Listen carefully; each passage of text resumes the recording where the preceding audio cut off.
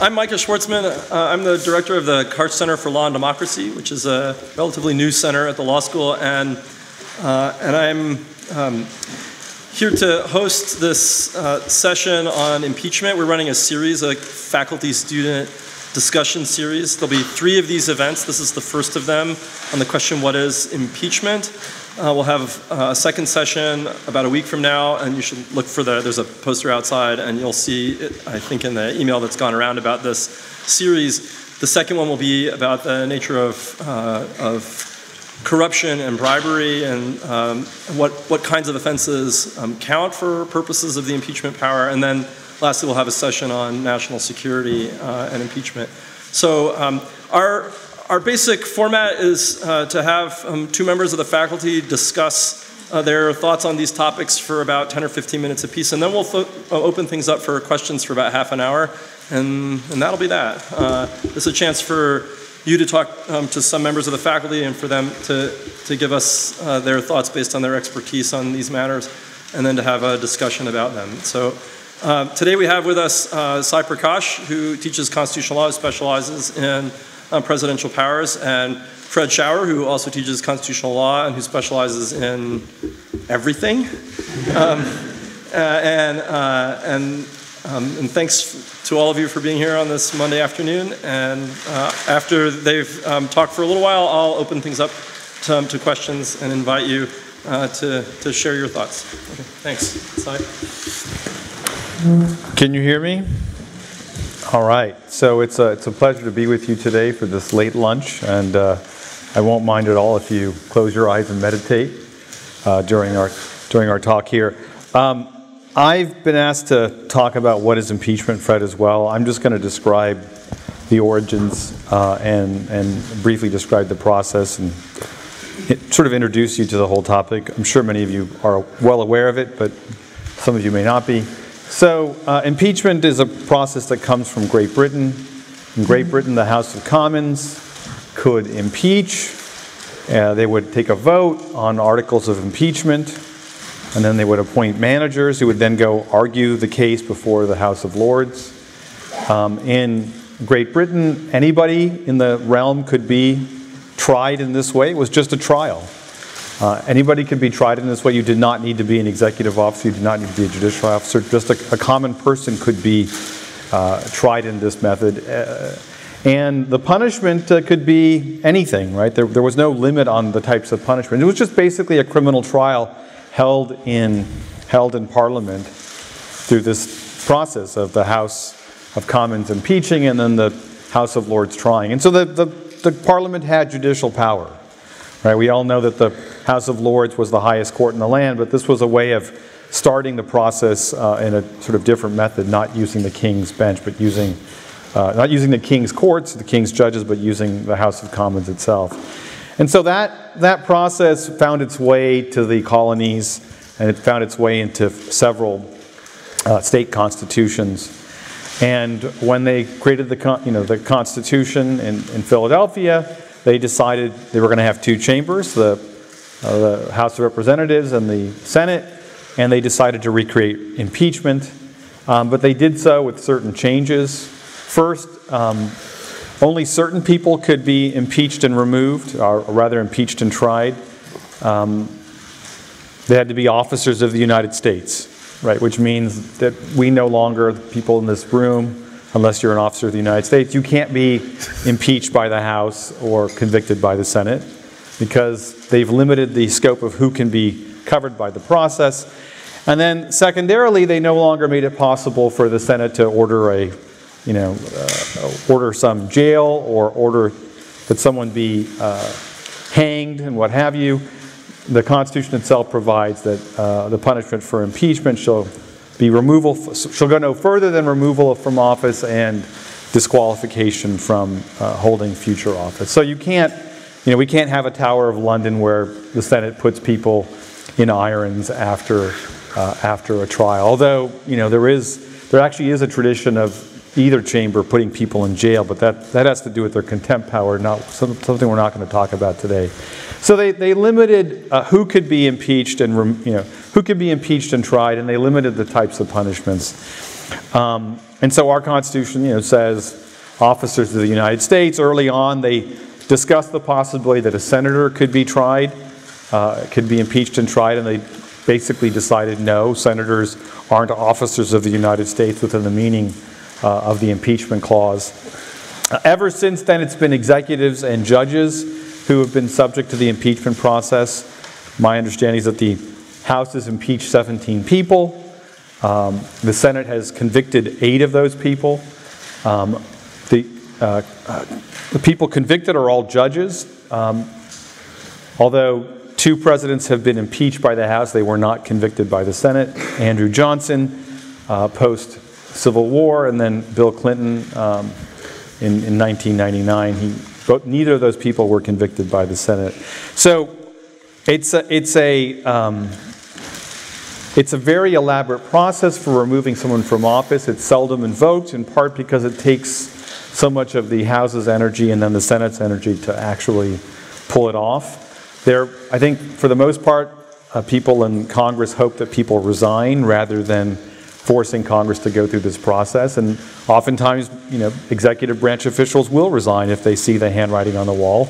That's probably why Nixon resigned, right? He probably he was told by his Republican colleagues that he would be convicted, and he decided not to go through that humiliating process. Other times, presidents decide to put people to the test, right? Obviously, Johnson and Clinton decided to do that. But more often than not, people resign rather than going through this process.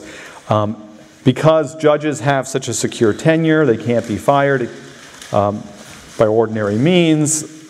You know, impeachment's more typically used for judges.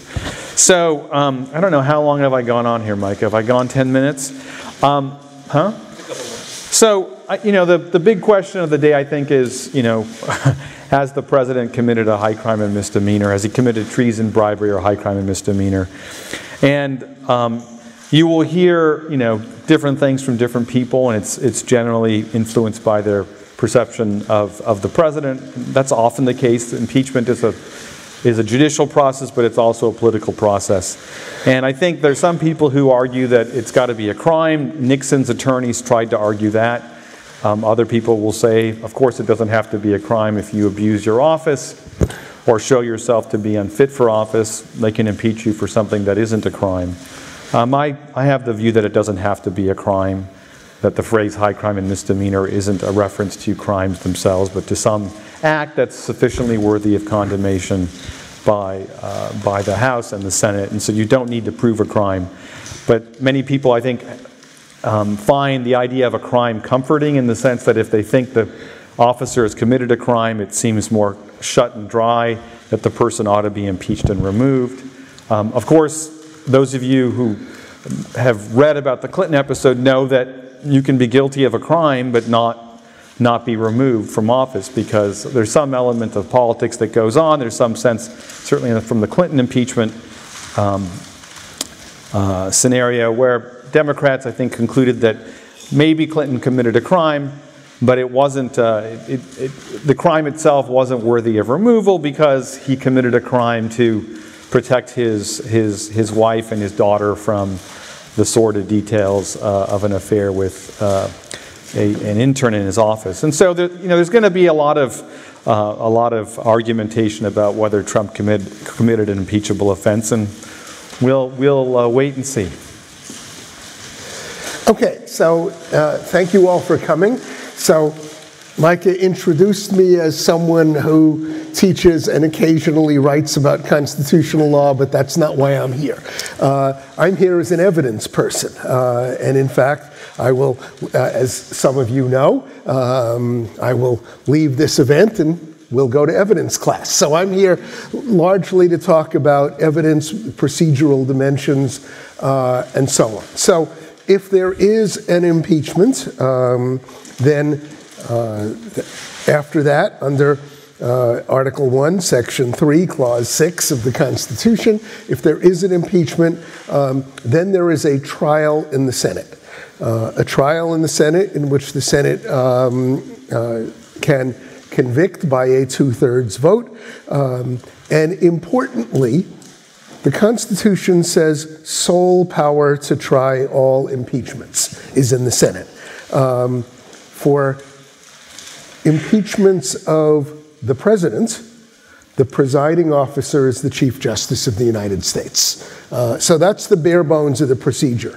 Uh, there are a couple of interesting issues that come out of that.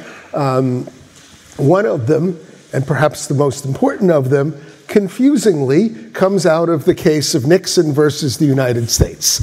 I say confusingly because Nixon was not Richard. Nixon was Walter Nixon, United States District Judge um, in Mississippi, uh, and Walter Nixon was impeached. Um, and then there was a trial in the Senate, and Walter Nixon challenged the procedures for the trial in the Senate. He claimed that uh, I should mention, just as an aside, uh, the impeachable offense was perjury.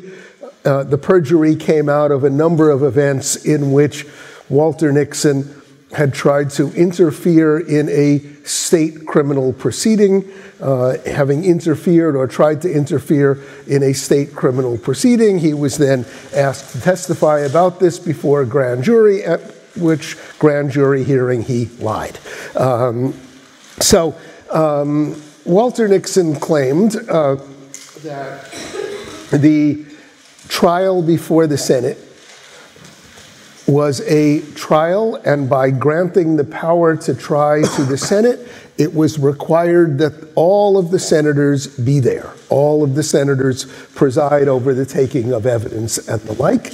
Uh, the Senate had decided that it had better things to do, so it uh, according, in accordance with the Senate rules about impeachment, it had created a committee, a subcommittee of senators to hear the evidence and then uh, make a recommendation to the full Senate. Uh, the issue before the Supreme Court in Nixon versus the United States was not the issue of whether that was proper but rather whether the decision about whether it was proper was to be made um, by the Senate or to be made by the courts. So, here, um, for the benefit of those of you who are um, 1Ls and have not yet confronted this issue, uh, this implicated what is known as the political question doctrine. The political question doctrine is not about questions that are political, uh, as you might think from the name. Rather, it is about questions that are held by the courts and by the Supreme Court to be for the political branches of governments and not for the judicial branches of governments. The Supreme Court in Nixon versus the United States said that um, partly um, because of difficulties in a court making these determinations, but mostly because of what is known as a textually demonstrable commitment to a coordinate branch of government. These were decisions to be made entirely by the Senate. Most of what the court talked about was the word sole and the court said, whether they were right about this is contested, um, that by giving the sole power of impeachment to the Senate, that meant that the Senate could make all of the rules and that the courts would quite simply not be involved, except for the fact that the Chief Justice uh, would preside if the impeachment um, of the president. Um, so, um, what we wind up with as a result of Nixon versus the United States, that's 1993 um, is a situation in which the Senate decides what the procedures will be. There are elaborate Senate rules that have been in place for some time about what the procedures will be. Uh, and those are the procedures that determine how everything uh, will go on. Um, it turns out that in many respects, uh, consistent with what Sai was saying and consistent with the fact that the word try is there in the Constitution. However political a process it may be, at least according to the Senate rules, it more or less, and the less is as important as the more, it more or less looks like a trial. Um, there is a committee of prosecutors. Uh, there are uh, defense counsel. There is evidence that is taken. There is cross examination. Um, there are a whole bunch of things um, of this variety that sort of resemble a trial, despite the fact that it, perhaps in the most interesting dimension, it's not a trial. That is, in the normal course of things, the jury at a trial does not yet does not get to determine what is or is not a crime. Here, the Senate largely determines what is or is not um, a high crime or misdemeanor. Uh, but other than that, in many respects, it looks like a trial. So, um, if there is going to be a trial in the upcoming uh, weeks or months or whatever, the Chief Justice will preside. Um, interesting uh, aspect of this is that the Chief Justice, who has an extraordinary academic record, an extraordinary record as an appellate lawyer, an extraordinary record as an appeals court judge, uh, to the best of anyone's knowledge, has never actually tried a case and has never sat a as a judge uh, in a trial. Um, many judges wind up as Court of Appeals judges by virtue of having been a federal district judge. That is not the case with Chief Justice Roberts. Uh, I don't even know whether he took evidence or not. Um, uh, I assume yes, but I have um, no way to find out, at least no legal way to find out. Um, but he will preside. Uh, one of the interesting dimensions of this, for those of you who uh, know or are learning something about evidence, is that evidentiary rulings are largely made in the context of objections. There will be objections to evidentiary rulings, uh, evidentiary rulings that at least what we know about the um, potential uh, upcoming case, may involve questions about whether hearsay evidence can be taken, may involve questions uh, about personal knowledge, may involve uh, constitutional questions about the right to confront and cross examine, may involve a whole bunch of other things. In the first uh, order of business, or in the first iteration of all of this, uh, there might be an objection to some form of evidence, and then the Chief Justice presiding will make an evidentiary ruling. What happens then? In a normal trial, when the trial judge makes an evidentiary ruling, um, except for the very rare cases in which they are appealed, uh, that's that. It turns out that under the rules of the Senate, if there is an evidentiary ruling, that can then be challenged or appealed to the full body. That did not happen once in the Clinton trial. It did happen some number of times in the Andrew Johnson trial. So there is the possibility out there that Chief Justice Roberts will make an evidentiary ruling. Um, one member of the Senate will then stand up and say, Well, based on my experience as a trial lawyer, that's an incorrect ruling as a matter of evidence. And then the full Senate will determine whether that's a correct ruling or not. Whether that happens, um, we don't know. Um, so, one question is how evidentiary matters will be dealt with.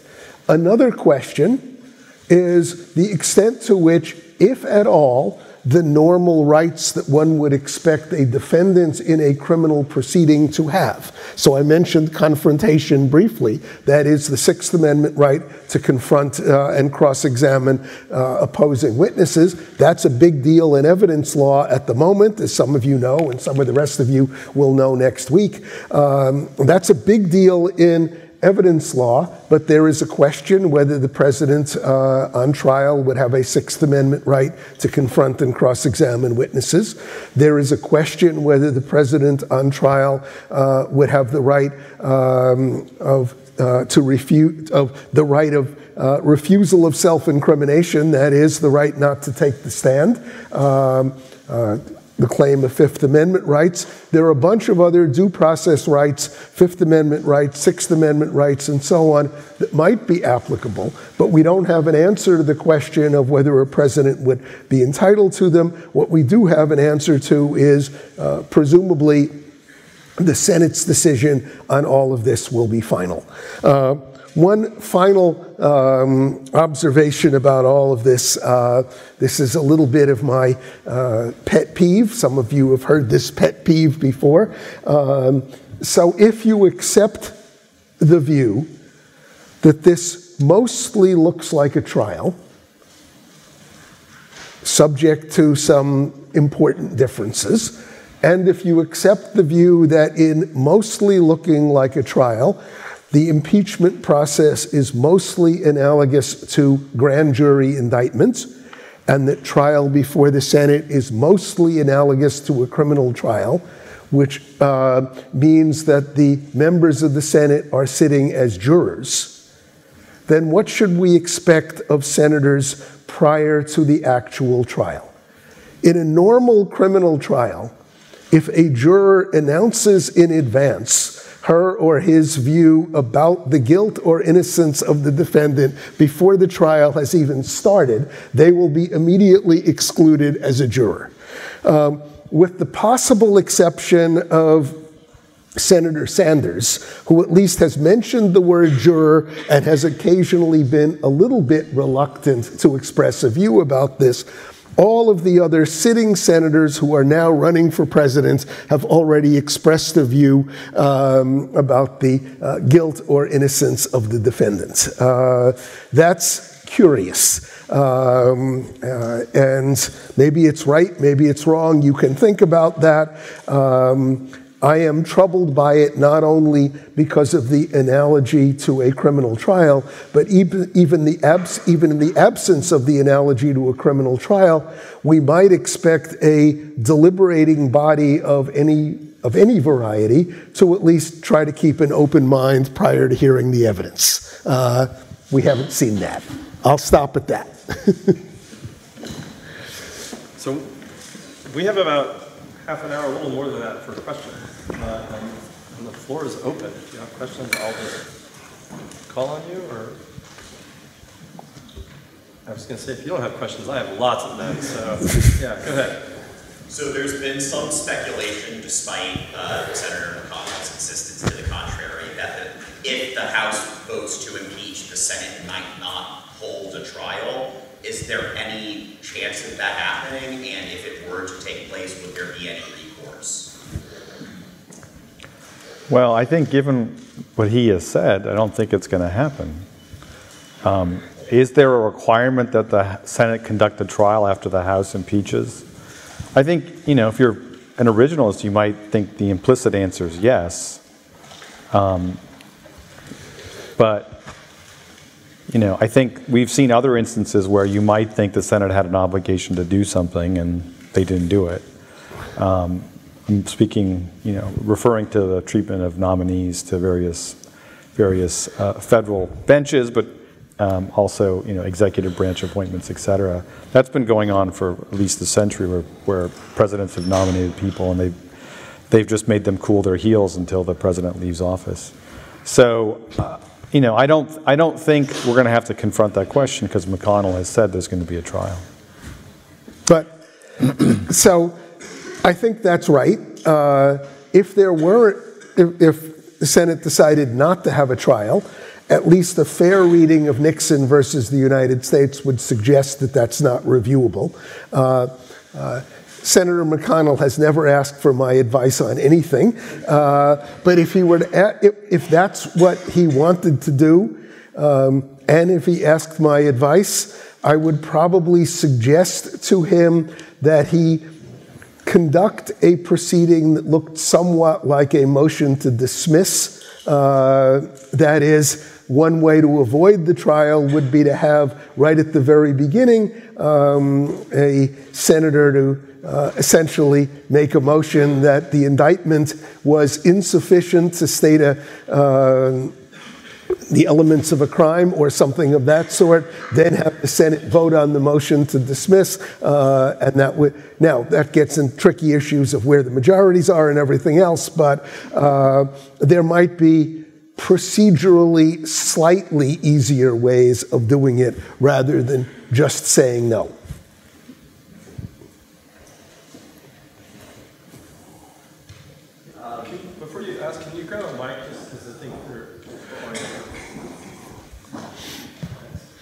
This is a question about the Senate procedure and getting back to how evidence might be disposed of. What is the vote threshold going to be on these questions? Is it going to be a majority vote, or are these subject to a 60 vote threshold as many Senate My votes are? understanding, I don't have the rules in front of me, but my understanding is that it is majority vote, and my understanding is that it was majority vote during the Johnson trial. I might be wrong about that, but I think it is, um, it is majority vote on evidentiary rulings, even though it is uh, supermajority for conviction.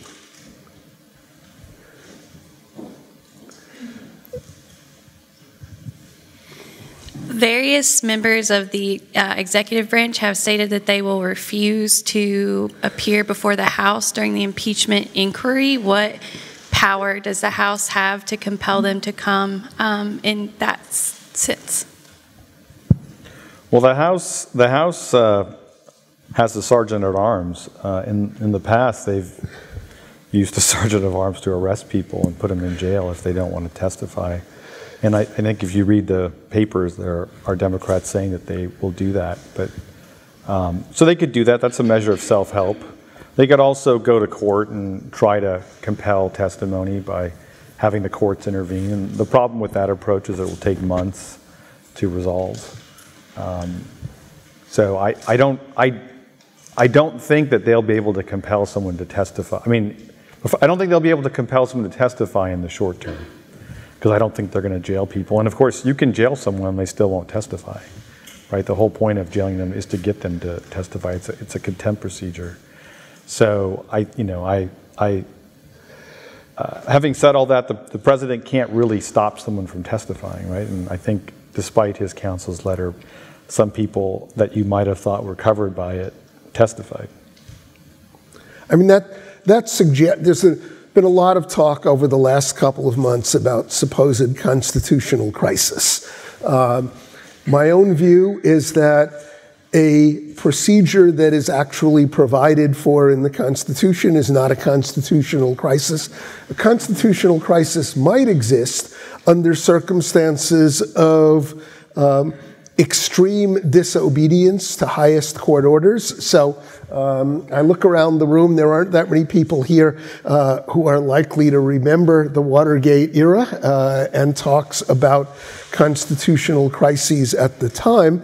Um, but at least um, there was some talk at the time of constitutional crisis when there was discussion of the possibility that Nixon, President Nixon, Richard Nixon, not Walter, while still president, um, would disobey a Supreme Court order. So um, the uh, president was ordered to turn over some number of records, mostly tapes, um, to the investigation. Um, the president then claimed executive privilege. That case went to the Supreme Court. During the Supreme Court argument, and just after the Supreme Court argument, the president's lawyer, James St. Clair, prominent Boston lawyer at the time, was asked the question if the president loses, will the president comply with a Supreme Court order to turn over the documents?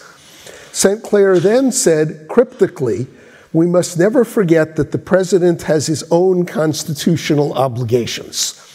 Shortly thereafter, there was an outcry against that and the president um, caved. That is, uh, the position changed. The position of the administration was if we lose before the Supreme Court and the president, by name in particular, is ordered to turn over the documents, the president will do so.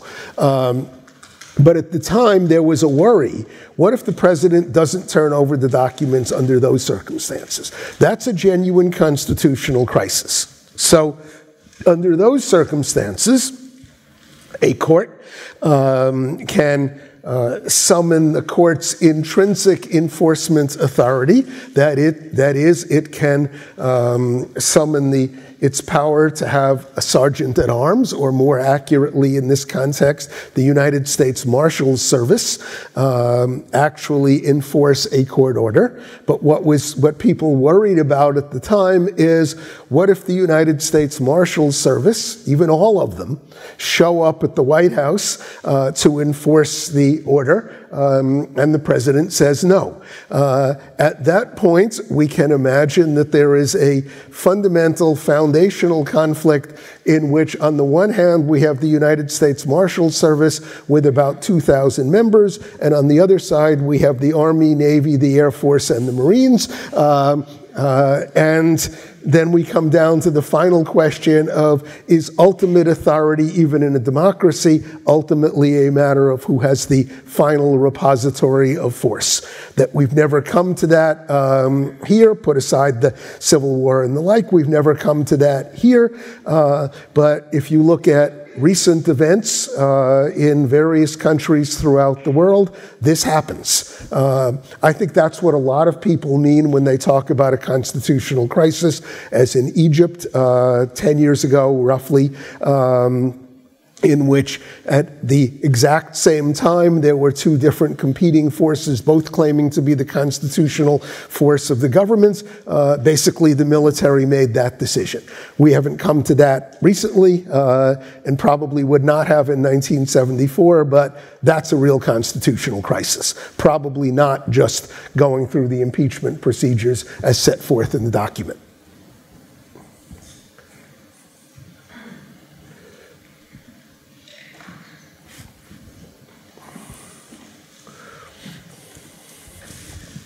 Um, I was, I can't remember the Clinton impeachment very well, but I remember some of it being live on NPR. Um, can you speak about how public this process will be? I know there's criticism now of, of how private the process is at the moment.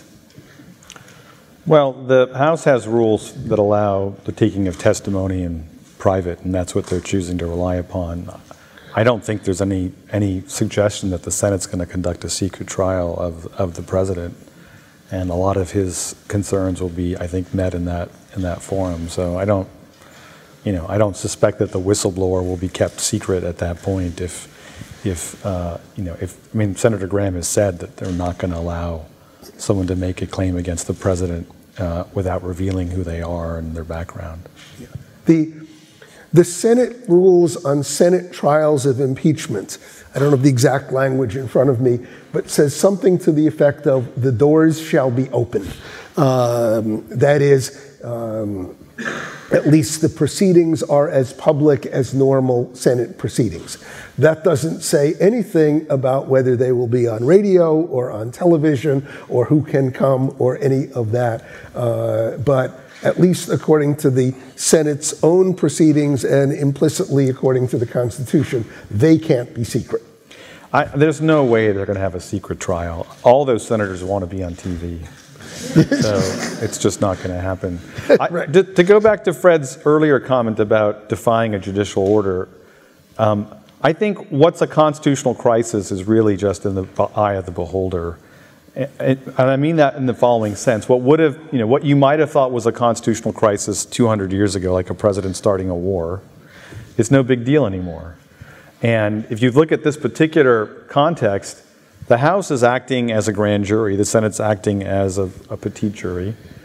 They're, they are a court of sorts, and if the president ignores the order, you might have thought in a different era that was a constitutional crisis. But uh, presidents have long defied subpoenas issued by Congress, maybe not impeachment subpoenas, but other subpoenas. And so I think people, people almost expect uh, the president's, the counsel's letter from the president was, you know, written in very interesting ways, but it, I don't know if it came as a big surprise to people that the president's not going to cooperate. And it is, it is interesting. Uh, one of the things that makes this process perhaps more political than legal uh, is in a normal criminal trial, we don't expect the defendant to cooperate with the prosecution. The defendant just says, I am taking the fifth, uh, and leaving it at that. Uh, uh, whether that analogy carries over, we don't know. Well, my advice to the president is not to say, I'm taking the fifth. Uh, so, Professor Prakash, I know you mentioned that uh, your view on high crimes and misdemeanors is that it doesn't require a crime, um, but there's sort of been dispute as to that. Um, is that dispute something that's judicially reviewable, or is that up to the Senate to decide? I mean, I think Fred's absolutely right. The courts aren't going to intervene and decide what a high crime and misdemeanor is. That is to say, if the president is convicted and he says it's not a high crime misdemeanor what you've convicted me of, you know, he'll be, you know, he'll, he'll be out of luck. He'll be President Pence at that point, and the court's not going to reinstate him. Yeah. to I mean, if, as in Nixon versus the US, if the court is not going to touch issues of procedure, which we would think courts are good at, then it's certainly not going to touch issues of what's the ultimate substantive issue of is this a crime or not.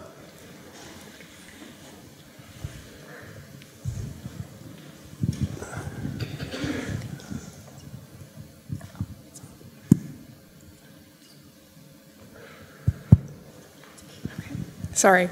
Um, is there a burden of proof in an impeachment trial? And if so, how does that work when there aren't any elements? And if not, how does a trial work without a burden of proof? I'll let you handle this one. There is, there is no specified burden of proof. So, uh, because there is no specified burden of proof, um, there is there is nothing explicitly saying to the 100 members of the Senate, you should find the defendant guilty if and only if you are convinced beyond a reasonable doubt.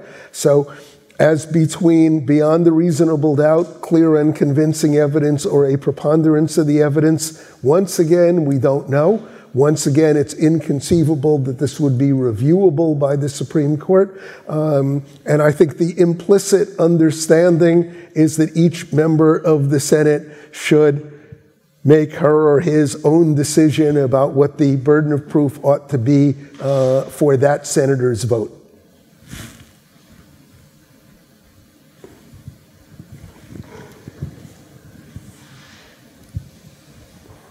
Are there any are there any implications of timing in terms of with the parallels to a criminal trial, a right to a speedy trial, and then also in the instance of timing about how long impeachment proceedings may or may not take with a impending national election?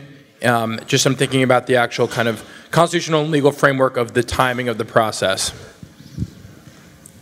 Well, um, I don't think there's any claim that there has to be a, there has to be a speedy trial. I, I suspect that people will say there has to be a speedy trial when that favors them politically, and when it doesn't, they won't. I, I think you're right that the Democrats are, you know, thinking about the election calendar in, in two different senses. I don't think they're going to want to have an impeachment in September of next year, because that will it will it will appear to be an odd thing to do when the people are about to, to vote um, on on Trump in another way.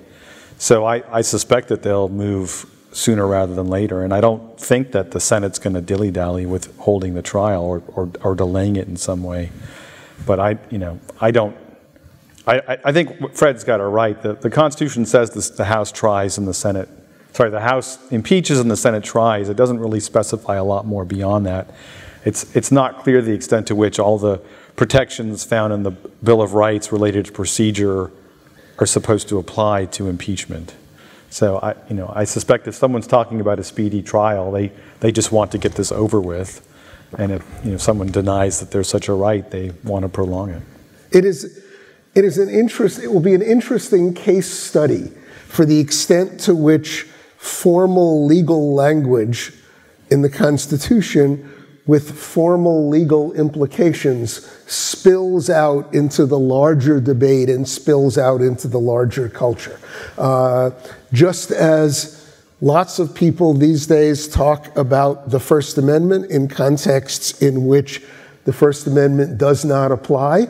Uh, uh, the First Amendment, for example, does not apply to the National Basketball Association. Um, it's a private entity. Uh, but we see, we have seen over the last uh, hundred years a form of public discourse in which the First Amendment that technically applies only to governmental institutions uh, now applies across the board. There may be a similar thing that will happen if impeachment becomes more public, um, will formal criminal procedure protections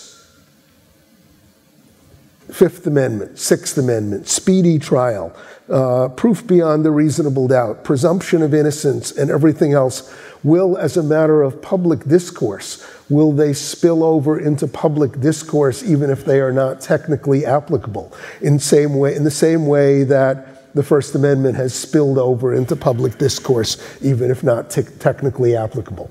This remains to be seen. And it's likely to be political. Uh, we certainly see, even these days, in vast numbers of different contexts, someone who has been accused of something outside of the criminal process making claims about the presumption of innocence. We're likely to see the same thing here.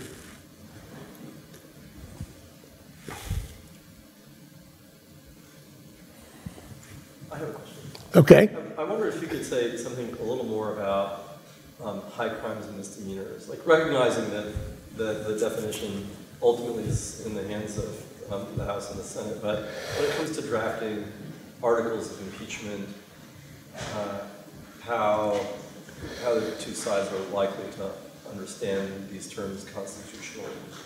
I mean, outside the courts, I mean, what, what the tradition or precedents of Okay, so let me, I'll, I'll, knows more about this than I do, so let me just say one very brief thing. Uh, the language is not just high crimes and misdemeanors, it's treason, bribery, uh, and other, and or is it or? Uh, and other high crimes. And other high crimes and misdemeanors. Uh, so indulge me if, for committing an act of statutory interpretation. Uh, there is a maxim of statutory interpretation, ejusdem generis, E J U S D E M, G E, new word, G E N E R I S, that says that where there is a general term followed by specifics, the general term should be interpreted or uh, should be interpreted in light of the specifics that are given. So that maxim would say that in determining what is a high crime and what is a misdemeanor, it should be things that look like treason and bribery. Uh, um, I, you know, I think people will make arguments about what the you know, what the standard is based on, I think, their perception of whether Trump needs to go or not. I think that's just natural. We saw that during the Clinton impeachment, where um, Republicans emphasized that the president had committed a crime, and Democrats emphasized that the, you know, that the crime, if there was a crime at all, had to relate to the office in question, and it, you know, they claimed that the crime that the president committed, President Clinton, didn't relate to the office. I, I have a view, it's, it's very broad. Gerald Ford once said it's whatever the House thinks is impeachable is impeachable. And I, a lot of law professors criticize that. I think it really depends on what he meant by this. I think if the House thinks that someone's not fit for office, I think uh, they can find that to be a high crime misdemeanor. And what do they mean by that? I think it could be an ab- abuse of authority. It can mean something as simple as a crime. There's an interesting book out by Cass Sunstein, written about a year or two ago, about uh, the whole impeachment process, and he says murder is a high crime and misdemeanor, even though it doesn't relate to the office. Um, but he doesn't think that you know uh, everything that could be a crime that doesn't relate to the office would be impeachable. I think he says that not paying your taxes is not an impeachable offense. You know, I, I would be inclined to think they both are. Again, if, if, if, if the House and the Senate conclude that what, whatever you've done is uh, suggest that you're not fit for office, that, that seems like a fine standard to me. So I don't, I don't agree with, I think Fred's, Fred's argument might suggest, and I'm not saying Fred believes this, but it might suggest that it has to be a really important crime or something super, super serious. Now, murder, of course, is uh, super serious, but it certainly doesn't relate to the office necessarily. Um, I, would be inclined to give it a very broad ambit. I think the, you know, the impeachment uh, as, as Thomas Jefferson said, is a scarecrow. It's, it's rarely used, and I think in part because the conviction threshold in the Senate is so high. And that does most of the work, right? You have this wonderful process laid out in the Constitution that's meant to uh, police who gets to serve, but it's, it's very hard to, to roll out because it's so involved, and then you've got this ridiculously high threshold in, in the Senate. And that's what's, I think, prevented the House and the Senate from impeaching and convicting more people. It's, I mean, there is, you raise an interesting question about uh, assume that you are a member of the Senate, assume that you are an open minded, conscientious member of the Senate. Um, Wait, wait, why, why are we Uh, laughing? We're, we're in the realm of the we're in the realm of the counterfactual here, but um, is it permissible to aggregate smaller crimes? Uh, this turns out, as those of you who are in my evidence class know, to be a big issue at the moment um, in some number of non-political um, trials. Uh, it's an issue now before the Pennsylvania Appellate Court in Commonwealth versus Cosby. Um, it is an issue likely to come up in um, People versus Harvey Weinstein and some number of other cases. Uh, how should a trier of fact and how should a trial um, deal with multiple events? Uh, one view would say a moderately common scenario in some number of sexual harassment or sexual violence uh, episodes. What if it turns out that there is someone who is probably guilty but not beyond a reasonable doubt guilty in six or seven or 14 different events? Is it permissible for a jury to say, we can't say that this person is guilty beyond the reasonable doubt in any one particular one, but we can say beyond the reasonable doubt that this person has committed at least one of these. That's totally impermissible in a criminal trial. Whether it would be permissible in an impeachment trial is an interesting question. That is, uh, if enough, if a member of the Senate says, "There's a lot of stuff that troubles me," there may not be one that all by itself rises to the level of an impeachable offense, proved beyond the reasonable doubt, but there's a lot of stuff um, that troubles me. There's a lot of stuff that I think is probably wrong. Uh, I'm going to aggregate all of them together. Uh, now we're just in the realm of senatorial conscience rather than formal law, but it's likely, especially here, to be an issue. I think, I think Fred's describing what would go on inside a senator's head, not Yeah. what they would actually say. Uh, No, I, Right. that's, so I think, that's I clearly think, right. and, and if they don't say it, then we don't really know. Like we don't have to.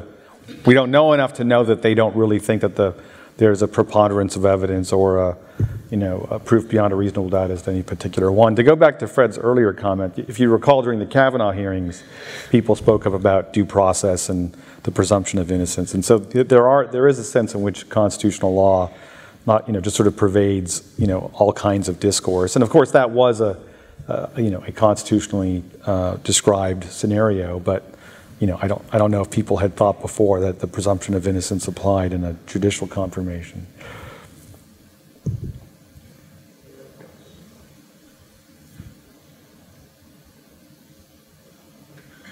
Captive audience, thank you all for coming to this event. Um,